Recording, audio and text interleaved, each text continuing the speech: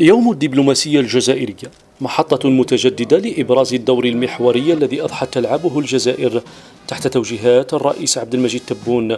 دور نابع من الثبات على المبادئ الراسخة في دعم القضايا العادلة.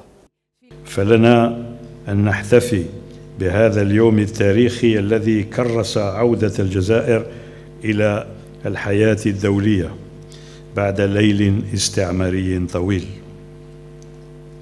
ولنا كذلك أن نفخر بإنجازات الدبلوماسية الجزائرية خاصة وأنها تتجدد اليوم بكل حيوية وفعالية تحت قيادة رئيس الجمهورية السيد عبد المجيد تبون وتقدم مساهمتها بكل عزم في مسيرة بناء الجزائر الجديدة مستنيرة في ذلك بمبادئ ميثاقها التأسيسي وشهادة ميلادها المتمثلة ببيان الفاتح نوفمبر 1954 وبما أن التكامل هو أبرز سمات المؤسسة الدستورية فنشاط الدبلوماسية الكلاسيكية يحظى بمرافقة الدبلوماسية البرلمانية ما يساهم في إيصال كلمة الجزائر وإسماع صوتها دوليا.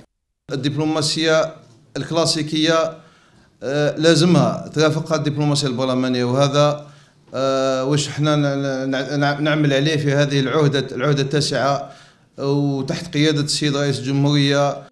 وبهدف تخليد ذكرى أولئك الذين صنعوا أمجاد الدبلوماسية الجزائرية كانت المناسبة فرصة لتكريم عائلة الشهيد مصطفى فروخي وإطلاق الموقع الإلكتروني لوزارة الخارجية بشكله الجديد.